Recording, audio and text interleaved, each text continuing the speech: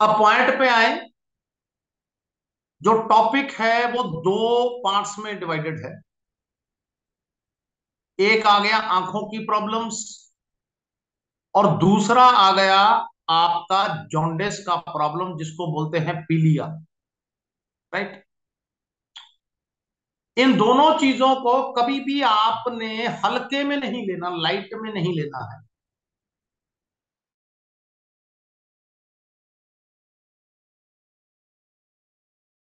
इंसान बहुत चकित हो जाता है कि आँखों की प्रॉब्लम से पूरी बॉडी के अंदर ये ये प्रॉब्लम्स होती है। बिल्कुल होती है।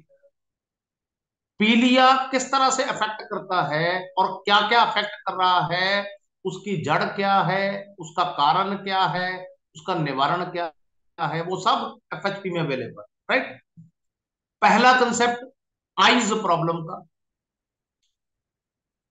जो लोगों की जनरलाइजेशन है ना, जिसको बोलते हैं धारणा प्रज्यूम करके चलना, मान करके चलना। जैसे मैं हमेशा आपको बोलता हूँ कि माइंड नहीं करना, लेकिन लकीर के फकीर नहीं बनना। आपके पास, जिस फ़ील्ड के अंदर आप हैं, ये एक बात आप लिख के रख लो, ये ज्ञान का फ़ील्ड है। जितना ज़्यादा आपको पता होगा, उतना ज़्यादा आपकी प्रोग्रेस पॉसिबल है, उतनी आपकी सक्सेस पॉसिबल ज्ञान होना चाहिए।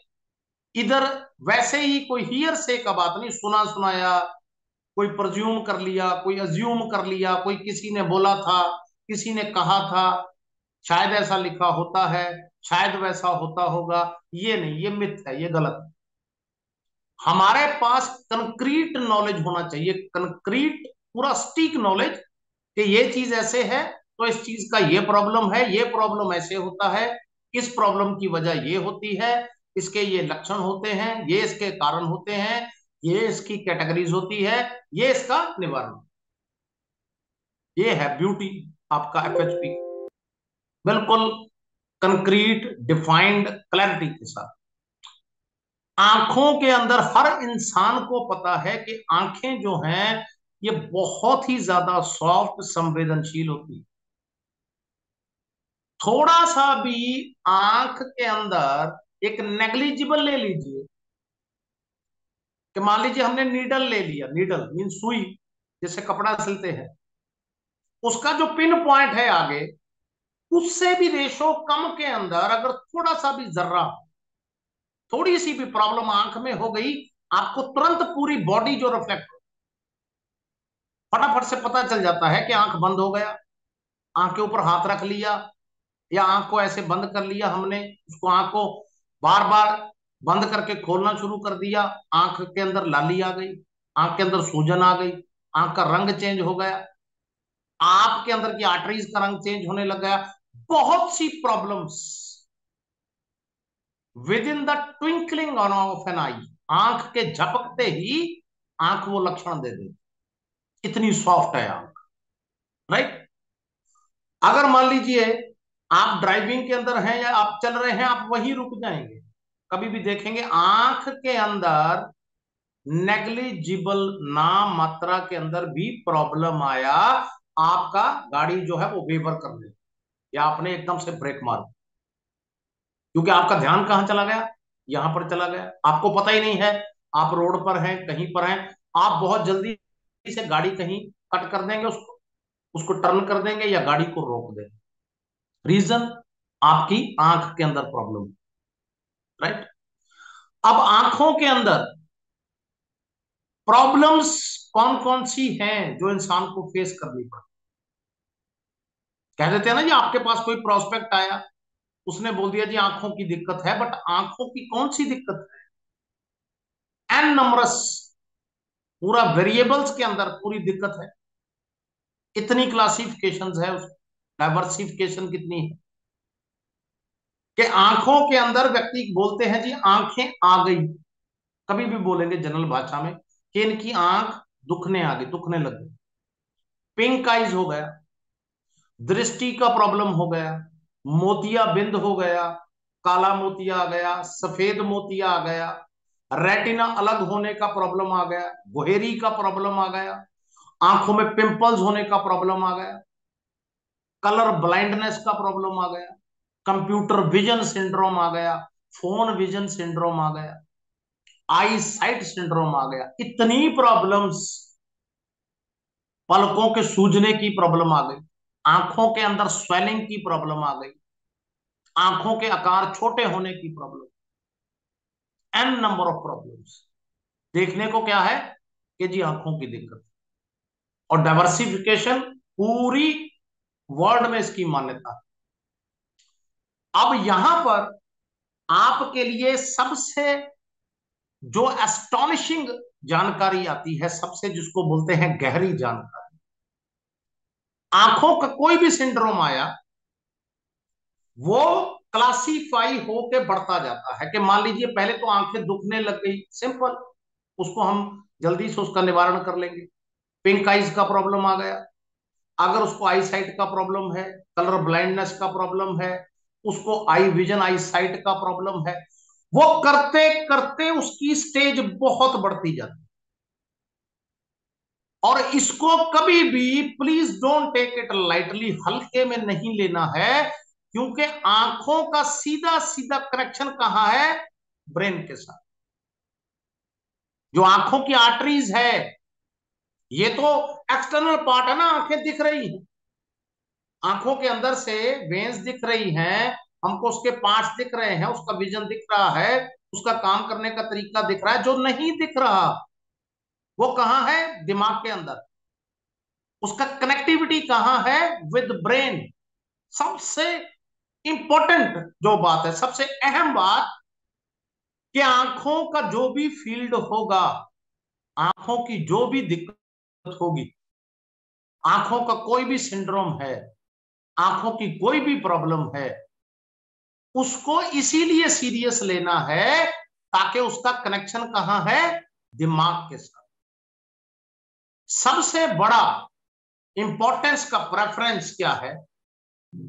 उसी कोशिकाओं से ये आर्टरीज डेवलप होती हैं, जिससे ब्रेन की नसें डेवलप सेम कोशिका से। आप सोचिए कि जैसे इंसान में बोलते हैं ना जी, दो चीज़ सबसे इंपॉर्टेंट आ गई, पूरा का पूरा बॉडी जो है वो तो इंपॉर्टेंट है ही।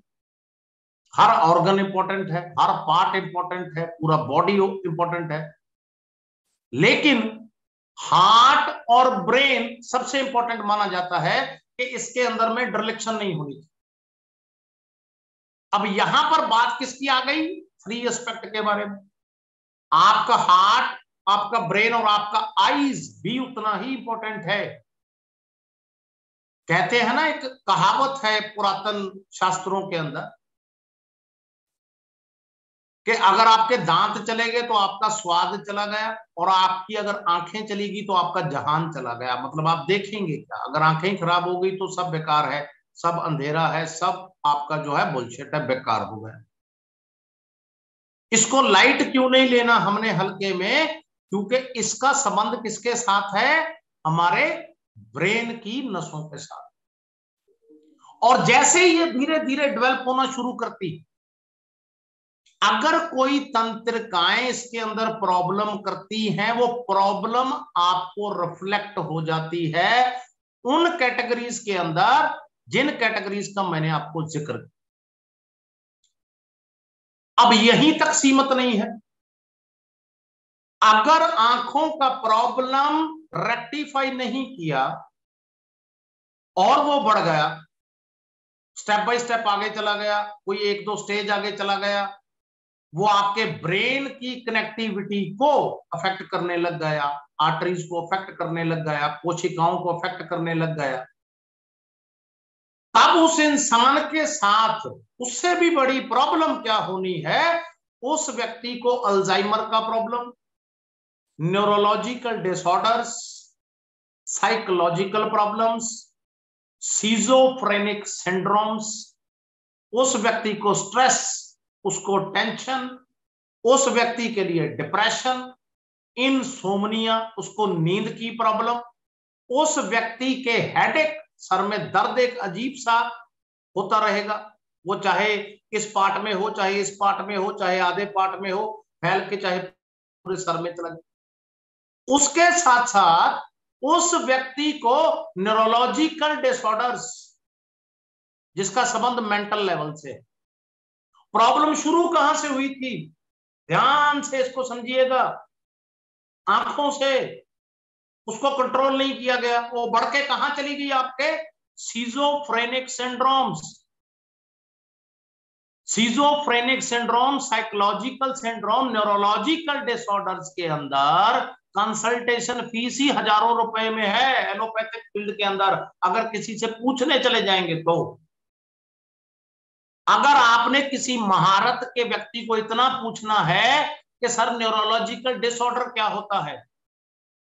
आईज का सिंड्रोम क्या होता है? आई साइट का सिंड्रोम क्या है?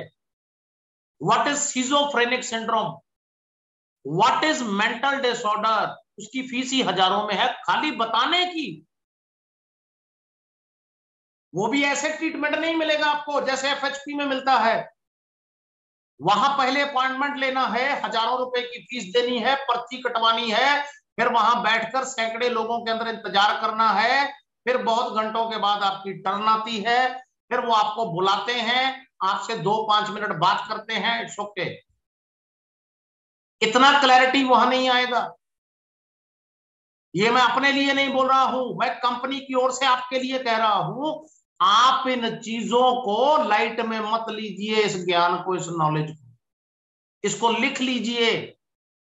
ये फ़ील्ड में आपके काम आएगी। अगर आपसे कोई प्रोस्पेक्ट आ गया ध्यान से एक चीज़ को आप समझिएगा आज कि मैं इस पे स्ट्रेस क्यों दे रहा हूँ? आपने फ़ील्ड में बहुत मेहनत किया, सब लोग बड़े एक्सपीरियंस्ड हैं एजुकेटेड हैं इंटेलिजेंट हैं नॉलेज है, सब है। और आपके पास कोई बहुत मार्वलस प्रोस्पेक्ट आने लग गए, जिन्होंने आपके काम को भी असमान तक ले जाना है, लेकिन गॉड फॉरबिड भगवान ना करे, आप उनको सेटिस्फाइड नहीं कर पाए तो वो व्यक्ति आपके साथ कैसे आए? आपको पता होना चाहिए। अगर उसने पूछ लिया कलर ब्लाइंडनेस क्या है, अगर उसने पूछ लिया आई साइट का सिंड्रोम क्या है, अगर उसने आपसे पूछ लिया जी साइकोलॉजिकल डिसऑर्डर क्या है मेंटल डिसऑर्डर क्या है what is called psychological problem what is called schizophrenic syndrome retina अलग होने का प्रॉब्लम क्या है? कलर ब्लाइंडनेस क्या है सर कंप्यूटर विजन में प्रॉब्लम कैसे आता? है अगर उस नॉलेज में हम लोग चूक गए तो मीन्स हम उस प्रोस्पेक्ट को भी माय डियर फ्रेंड चूक गए। मेरी बात को समझिए फॉलो करिए मेरी बात को। जो मैं कहना चाह रहा हूँ असल में, कि हमको कंक्रीट जो है, वो पता यस उसके बाद आप एक और चीज़ देखेंगे कि लोगों के अंदर एक last but not the least क्योंकि इसके बाद एक और कंसेप्ट आपका पड़ा है पीलिया के बारे में। इसको बोलते हैं ब्लीफ्रोस्पाजम जो बोलते हैं ना जी, आँख फड़कने में आ गया, आँख फड़कता रहता है। आँख फड़कने का इसका कोई वहम नहीं था। राइट है लेफ़्ट है, कौन सा है, कोई वहम नहीं होता इसका। इसका कोई ज़िंदगी, किस्मत लेन देन एस्ट्रोलॉजी कोई लिंक नहीं है काम के साथ, तरक्की के साथ। ये होता क्यों है? कि आपकी आँखों के अंदर से, मान लीजिए, वो आर्टरीज आपका कहीं नींद नहीं पूरा हुआ। जो आपका स्लीपिंग सिंड्रोम का आर्टरीज है, वहाँ पर कहीं स्ट्रेस आ गया। अंदर में कहीं पर खिंचाव आ गया। कहीं पर वहाँ पर अकड़न आ गया। और वो चीज़ जैसे ही एक लेवल के बाहर हो जाती है तो वो रिफ्लेक्ट कहाँ करती है? आँखों के ऊपर। आँख आपका फड़कना शुरू कर देती और उसका ड्यूरेबिलिटी कितना होता है? कुछ सेकंड से लेके एक दो मिनट या कुछ दिन, कई लोगों की कई महीने तक आँख फड़कती रहती है। There is nothing to worry about उसके अंदर कोई प्रॉब्लम की बात नहीं होती। Right right? अब हम लोग आ गए, क्योंकि टाइम का लिहाज करते हुए कि आईज के जितने एस्पेक्ट हमने डिस्कस किए, अब इसके अंदर निवारण निवारण भी एफएचपी का प्रोडक्ट आ गया। सबसे पहले आपने क्या रिकमेंड करना होता है? एफएचपी का बहुत ही unique universal product eye care आपका आई ड्रॉप्स ये दो टाइम आपने उनको रिकमेंड करना है कि अपने चेहरे को, आँखों को धो ले, उसको प्रेस नहीं करना, ज़्यादा ऐसे ऐसे प्रेस नहीं करना है। खाली ऐसे पानी अपना मारे आँखों के अंदर और थोड़ी देर के लिए आँखों को ऐसे चेहरे को ढीला छोड़ दे नीचे तरफ़। दबाना नहीं है आँखों को पोछते हुए ज़ोर से, ऐसे बिल्कुल हल्के से आपने ओके कर लिया और इसके दो दो ड्रॉप्स आपने आँखों में डाल लिए। Maximum number of problems maximum number of problems सिर दुखने लग गया विजन क्लियर नहीं है आई सेट क्लियर नहीं है, मोतिया उतर रहा है, काला है, सफ़ेद है। कंप्यूटर विजन में प्रॉब्लम है।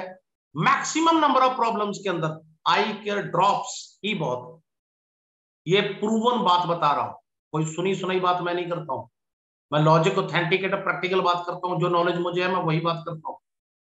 राइट सेकंड आँखों के लिए आपने उनको रिकमेंड करना होता है, जहाँ पर मेंशन भी होता है, आँखों स्किन बालों के लिए सबसे बेस्ट एफ़ एच पी का आंवला जूस तीस तीस एम दीजिए दिन में दो बार। तीस तीस एम नो इशू आप उनको आंवला कैप्सूल रिकमेंड कीजिए एफएचपी का, सुबह शाम। बेस्ट आँखों की इंटरनल आर्टरीज का स्ट्रेंथनाइज करने के लिए, अगर बोले तो द बेस्ट चीज़ किसी को बोल सकते हैं। द बेस्ट राइट और आपने के इंसान की जो आँखों की आर्टरीज है और ब्रेन की जो आर्टरीज है, उनके अंदर कहीं से भी नोन या अननोन जिसको बोलते हैं डेलीबरेट और अनडेलिब्रेट कोई भी अफेक्ट ना आए, उसके लिए आपने उनको ब्लिस देना है। जितनी मैंने इंपॉर्टेंस बनाई है, उस इंपॉर्टेंस जो मैंने बताई आप, उसको मद्देनजर रखते हुए ब्लिस सुबह शाम लेना ही चाहिए। क्यों? क्योंकि जो बॉडी अंदर कंटेंट मांग रही बॉडी मांगेगी जी सिट्राफोलिया मरिंडा का कंटेंट वो है। इंडियन जिनसिंग अश्वगंधा इसके अंदर है। काली मिर्च इसके अंदर है, इसके अंदर स्पेरोलिना है द हेल्थीएस्ट फ़ूड इसके अंदर आपका काली मिर्च, इसके हल्दी के extract maximum number of extract जो हम मांग रहे हैं, वो किसमें आ गए? खाली एक ब्रश के अंदर। और वो ओवरऑल बॉडी अगर जीवन की हमें ज़रूरत समझ में आ गई, अगर हमें आँखों की इंपॉर्टेंस समझ आ गई, अगर ब्रेन की इंपॉर्टेंस समझ आ गई तो ये चीज़ तय है कि हर घर के अंदर, अब एक बात मान के चलिएगा कि अंबर जी ऐसे ही बोल देते हैं जी ब्लिस खाओ। अंबर जी ऐसे नहीं बोल देते हैं ब्लिस खाओ। उसके पीछे रीजन होता कि अगर आप चाहते हैं, हर इंसान चाहता है गॉड फॉरवर्ड भगवान करे, किसी को कोई बीमारी ना लगे। अब जितने लोग ज़िंदगी में हमारे साथ हैं, जीवत हैं, आँखें तो सबकी है, ब्रेन सबका है। अगर प्रॉब्लम है, तब भी अगर प्रॉब्लम नहीं है, तब भी उसको ना होने देने के लिए हर आँखों वाले शख्स को यह खा लेना चाहिए। लॉजिक समझिए आप। इतना इंपॉर्टेंट है भले साफ़ के लिए पूरा जीवन आँखें होगी तो काम करेंगे। अगर ब्रेन सही रहेगा तो काम करेंगे ना माय डियर फ्रेंड्स उसके लिए मैं बोल रहा हूँ राइट दूसरा, जो बहुत इंपॉर्टेंट एस्पेक्ट के अंदर आ गया कि लोगों को पीलिए का प्रॉब्लम होता है जॉन्डिस जॉन्डिस को अगर हम जनरल चिकित्सीय भाषा में ले लें, आप वर्ल्ड हेल्थ ऑर्गेनाइजेशन के माध्यम से आ जाओ, आप इंडियन मेडिकल एसोसिएशन के माध्यम से आ जाओ, आप किसी एक्सपर्ट के माध्यम से आ जाओ, आप उनके किए हुए सर्विस के एनालिसिस के माध्यम से आ जाओ, आप चरक सहता के माध्यम से आ जाओ आप ऋग्वेद के कंटेंट्स देख लो, जहाँ पर लिखा हुआ है कौन सी जड़ी बूटी, कौन सी बीमारी में कैसे काम करेगी, क्यों काम करेगी, कितना काम करेगी। अगर ढूंढ ले नॉलेज को, अगर हम उन सारे एनालिसिस को देखें, उस चिकित्सीय भाषा में देखिए मेडिकल साइंस में समझ ले, आयुर्वेद हर्बल के कंसेप्ट में समझ ले, पुरातन शास्त्र में समझ ले जो संस्कृत भाषा है, संस्कृत लिपि के अंदर जॉन्डिस का पीलिया का असली नाम है कामला रोग। पहले लोग ये नहीं बोलते थे कि इसको पीलिया हो गया, इंग्लिश नहीं आता था, ऐसे नहीं बोलते थे कि किसी किसी को आता था इंग्लिश के जॉन्डिस हो गया, ये जॉन्डिस ही और she is affected with jaundice अब बोलते थे कामला रोग हो गया इसको। कामला रोग का दवाई दीजिए, बूटी दीजिए। जड़ी बूटी दीजिए पाउडर दीजिए, उसे इसका इलाज करिए, पीने वाला इसको काढ़ा दीजिए सिरप दीजिए। ये जितने अल्टरनेटिव हैं फ़ैशन है, ये तो आज की डेट में डेवलप हो रहे हैं। उस चीज़ के अंदर संस्कृत में ये चला गया कामला रोग, इंग्लिश में चला गया जॉन्डेस जिसका असली कारण, जो असली नाम है, पूरी रिसर्च के बाद that is called hepatitis virus इसकी जड़ जो है, वो हेपेटाइटिस है वायरस ये वो नॉलेज है जो पता नहीं किसी ने आपको दिया, आपको आता है तो वेल एंड गुड है, नहीं आता तो इसको ऐड कर लीजिए। ये बहुत डिस्टिंक्ट नॉलेज है जो मैं आपको बता रहा हूँ। लोग ढूंढते हैं, पीलिया का कारण क्या है? What is the main root cause of jaundice वो साइंस ने प्रूव कर दिया, मेडिकल साइंस ने प्रूव कर दिया, आयुर्वेद हर्बल ने प्रूव कर दिया, चरक संहिता ने प्रूव कर दिया, वेद शास्त्र ने प्रूव कर दिया, उसका कारण आ गया हेपेटाइटस वायरस। अब हेपेटाइटिस वायरस जो आ गया, वो आगे सात प्रकार का आ गया। Hepatitis A, hepatitis B, hepatitis C, hepatitis D E F G A से लेके जी तक सात कैटेगरीज हेपेटाइटिस और सात कैटेगरीज जब पीलिया को अफेक्ट करेगा तो कितने ही अलग अलग डायमेंशन में अफेक्ट करेगा? पीलिया रोग का सबसे पहला लक्षण कि उस व्यक्ति का पूरा बॉडी पूरा स्किन खास करके चेहरा और आँखों का सफ़ेद पार्ट, पूरा पीला गाढ़ा हो जाए। पीला। उसको हर तरफ़ पीला पीला दिखने लग जाएगा। उसको बोलते हैं येलोइश साइट सिंड्रोम पीला साइट सिंड्रोम कोई चीज़ देखेगा, उसको पीली पीली दिखेगी लाइट पीली दिखेगी। कोई भी चीज़ है, उसको अजीब सी, मध्यम सी पीली पीली दिखेगी। डायमेंशनल रिफ्लेक्शन देखेगा उसको। डायमेंशनल कि कोई चीज़ ऐसे कर, करके उसकी आँखों की ओर आ रही है, ऐसे ऐसे। पहला, उस व्यक्ति का मल मूत्र बहुत ही ज़्यादा गाढ़ा पीला हो जाएगा। येलोइश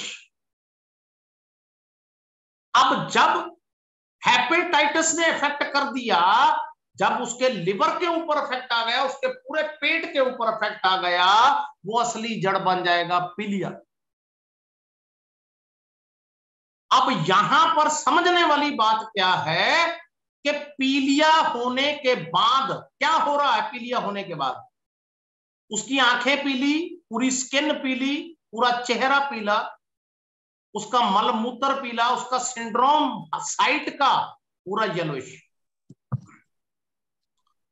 अगर तो ये न्यू बॉर्न बेबी को होता है, तीन कैटेगरीज याद रखिएगा अगर तो न्यू बॉर्न बेबी को हो गया या छोटे बच्चे को हो गया तो डरने की बात नहीं इजीली कंट्रोलेबल आराम से कंट्रोल हो जाता है। ये प्रॉब्लम कहाँ कर रहा है? जब अडल्ट को हो गया, किसी बड़े लोगों को हो गया, बड़ी लड़कियों को हो गया, लड़कों को हो गया जेंट्स को हो गया लेडीज़ को हो गया, या ओल्ड एज पीपल को हो गया there is a big problem वहाँ पर प्रॉब्लम आएगा। अब वो करेगा क्या? ब्लिरी रूबिन नामिक एक बाई प्रोडक्ट है जो पेट के अंदर बढ़ना शुरू हो जाता है। वो क्यों बढ़ता है? अब जॉन्डिस की वजह क्या हुआ? Hepatitis virus.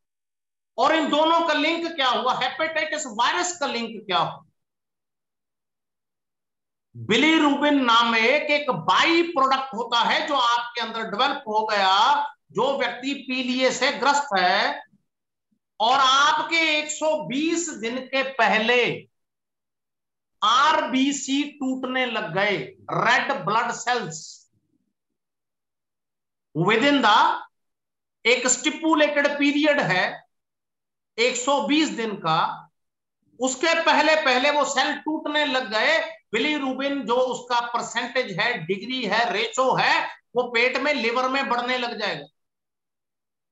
बहुत स्पीड से बढ़ेगा, बहुत ज़्यादा मात्रा में बढ़ेगा। एक उसका स्पीड तेज, एक उसका मात्रा तेज। वो क्या करेगा? उस व्यक्ति की बॉडी को हेपेटाइटिस की चपेट में ले लेगा। अब जब व्यक्ति हेपेटाइटिस की चपेट के अंदर आ गया अब वो पेट के अंदर बढ़ कैसे रहा? लिवर के अंदर बढ़ कैसे रहा? वो लिवर के अंदर पहुँच कैसे गया?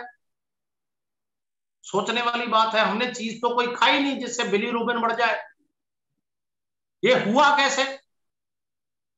प्रकृति के अंदर जीवित इंसान के लिए तीन चीज़ें जो भगवान ने सिर्फ़ इंसान के लिए बनाई, उसका हवा, उसका पानी, उसका भोजन हवा में से इसके जर्म्स फैलते फैलते उस व्यक्ति के अंदर जाएँगे। जिस पानी का वो सेवन करेगा, अगर वो पानी शुद्ध नहीं है, अगर वो पानी मिनरल्स के साथ पूरा सही नहीं है, अगर वो एल्केलाइन वाटर नहीं है तो प्रॉब्लम ज़्यादा बढ़ेगी बिलीरूबन ज़्यादा बढ़ेगा। वो रेड ब्लड सेल्स को ज़्यादा तोड़ेगा 120 दिन के स्टिपुलेटेड पीरियड के पहले तोड़ेगा। और वो आपके लिवर के अंदर मैक्सिमम इंफेक्शन पैदा करने लगे। अब जब इंफेक्शन पैदा हो गया, आपके अंदर वो वायरस कैसे पहुँच गया? हवा के माध्यम से, पानी के माध्यम से, आपने जो भी खाया, भोजन, कोई भी खाद्य पदार्थ, वो जो अंदर गया, किसी भी चीज़ से टच हो गया, वो उसका जन्म अंदर जा रहा। और ये सबसे पहले करेगा क्या? सबसे पहले फीवर, वायरल और इंफेक्शंस मैक्सिमम कर देगा ये लिवर के अंदर से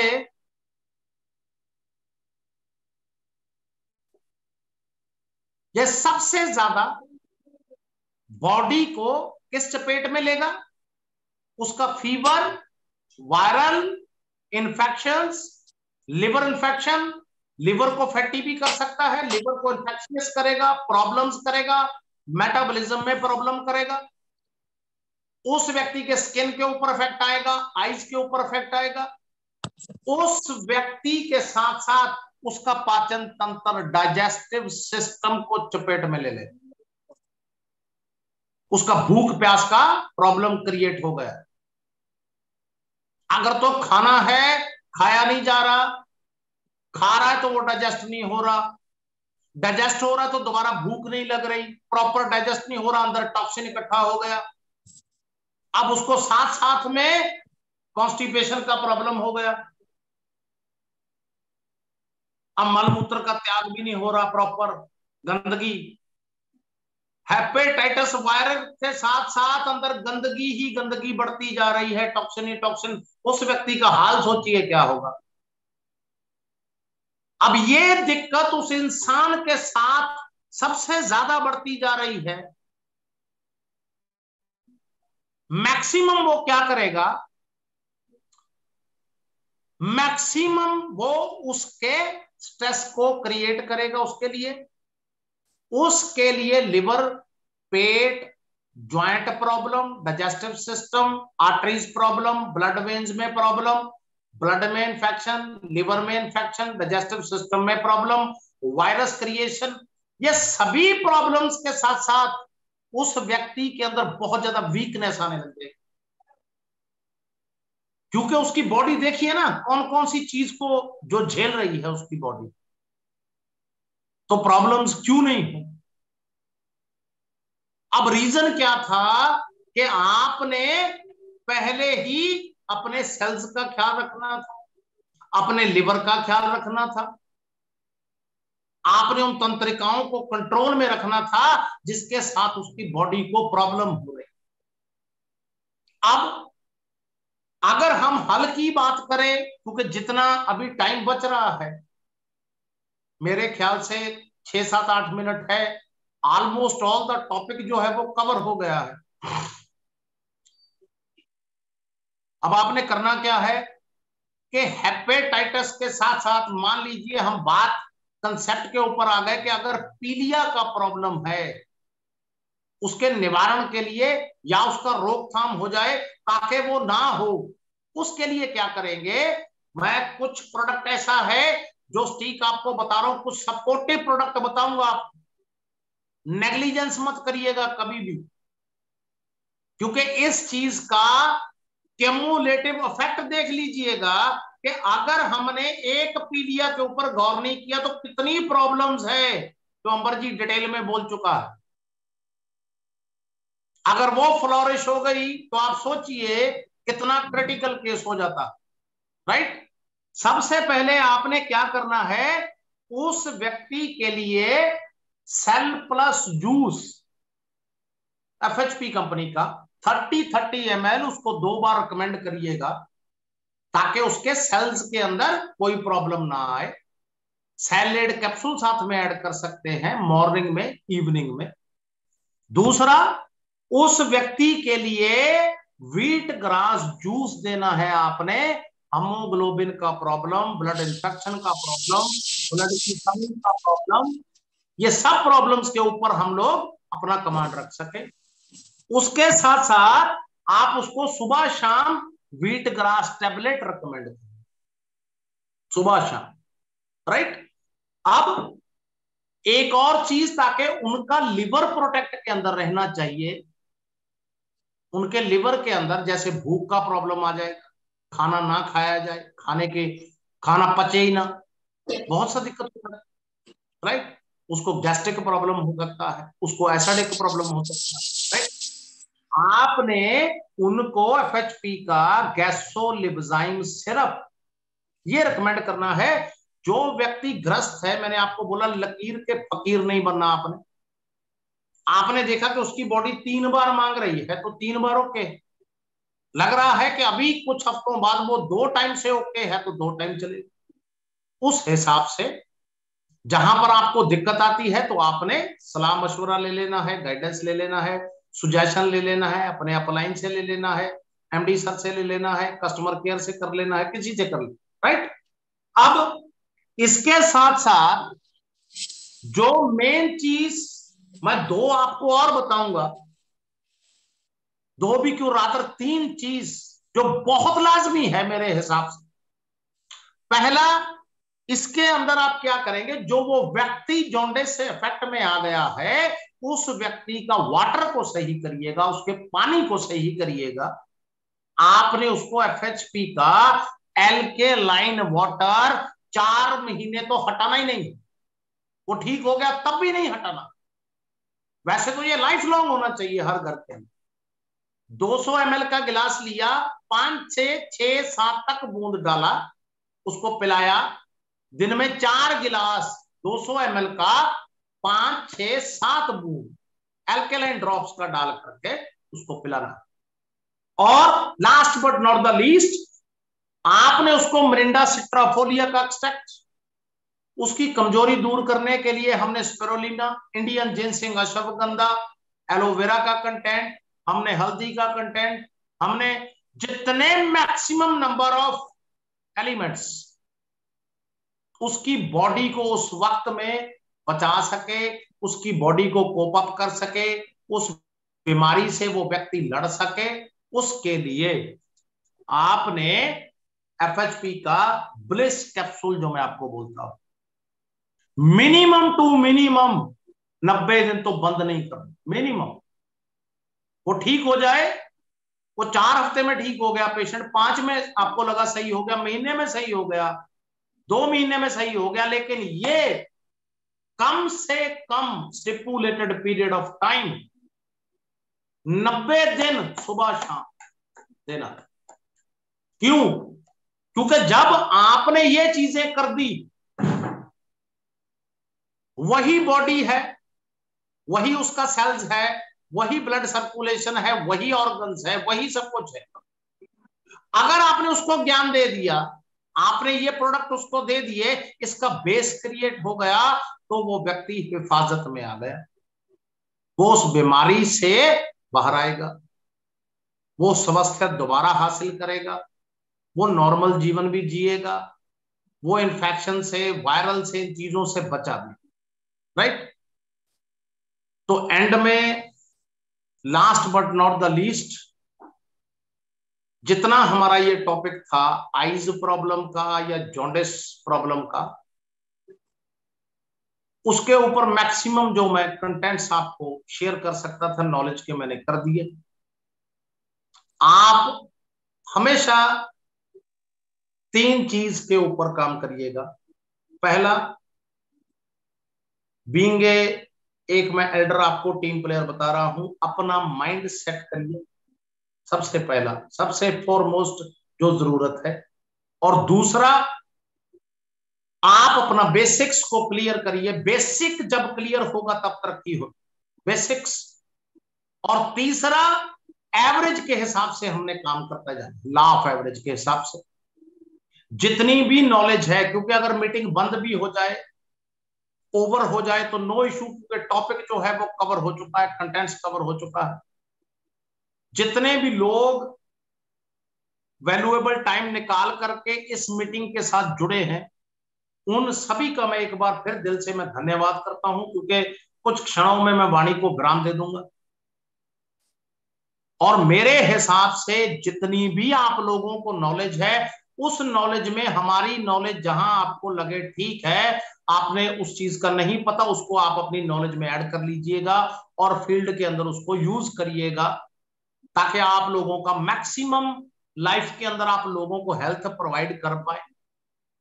बढ़िया से बढ़िया आपका नाम हो कंपनी के माध्यम से, आपका बहुत ज़्यादा आप धन कमाएँ और आपका एक आइडेंटिटी जिसको बोलते हैं, पूरे इंडिया के अंदर आपका एक बहुत बढ़िया छवि, एक पहचान होना चाहिए राइट तो नेक्स्ट जो भी टॉपिक कंपनी की ओर से आएगा, उसके साथ नई जानकारी के साथ मैं फिर आपसे मिलूँगा।